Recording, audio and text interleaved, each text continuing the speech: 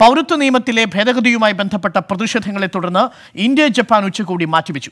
ഗുവാഹത്തിയിൽ കർഫ്യൂ തുടരുന്ന സാഹചര്യത്തിൽ ജപ്പാന്റെ ആശങ്ക പരിഗണിച്ചാണ് തീരുമാനം. അതേസമയം പൗരത്വ ഭേദഗതി നിയമത്തിനെതിരെ നടക്കുന്ന പ്രതിഷേധങ്ങൾക്ക് ശമനമുണ്ടെങ്കിലും വിവിധയിടങ്ങളിൽ ഇന്നും പ്രതിഷേധങ്ങൾ അക്രമാസക്തമായി.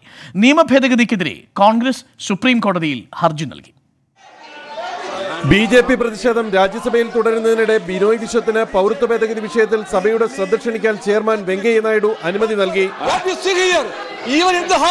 The government is seeing that no peace, no community is present here.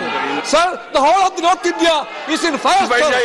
കടുത്ത പ്രതിഷേധമാണ് കോൺഗ്രസും ഇരുസഭകളിലും വിഷയത്തിൽ അറിയിച്ചത് ബംഗ്ലാദേശ് അടക്കം മറ്റു രാജ്യങ്ങളുമായി നിലനിന്ന നല്ല നയതന്ത്ര ബന്ധം നിയമനിർമ്മാണം ഇല്ലാതാക്കി മാറ്റിയതായി ആനന്ദ് ശർമ്മ കുറ്റപ്പെടുത്തി This is also having a fallout in India's external relations, Right, particularly with the sensitive yes, state of Bangladesh, No, no, I don't which want cannot other, be allowed. other countries to be named. Sir, it has to be. out. It's part of India's No, no, foreign policy.